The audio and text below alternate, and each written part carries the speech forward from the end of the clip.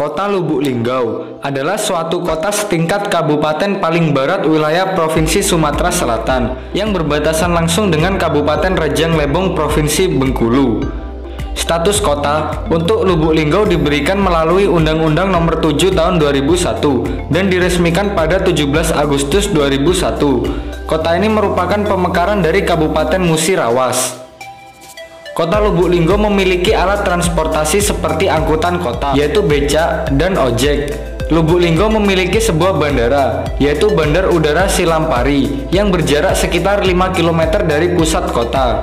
Bandara ini sampai saat ini melayani rute menuju Jakarta. Bandara ini juga melayani rute menuju Palembang. Lubuk Linggau juga memiliki stasiun kereta api, yaitu Stasiun Lubuk Linggau, yang terletak di dekat pusat kota. Stasiun ini melayani rute ke Palembang dengan kereta api Seliru dan Sindang Marga.